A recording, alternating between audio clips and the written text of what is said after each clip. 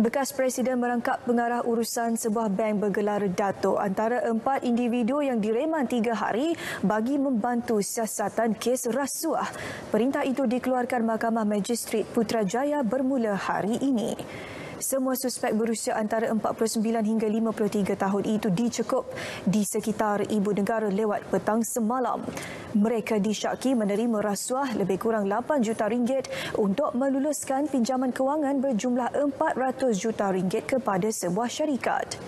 Ia dipercayai Komisen untuk meluluskan permohonan pinjaman kewangan bagi projek tidak wujud. Datuk tersebut dikatakan memberi keistimewaan meluluskan pinjaman tersebut tanpa mengikut prosedur. Ketua Pesuruhjaya SPRM Datuk Seri Azam Baki mengesahkan penahanan. Kes disiasat di bawah Seksyen 16 Akta SPRM 2009.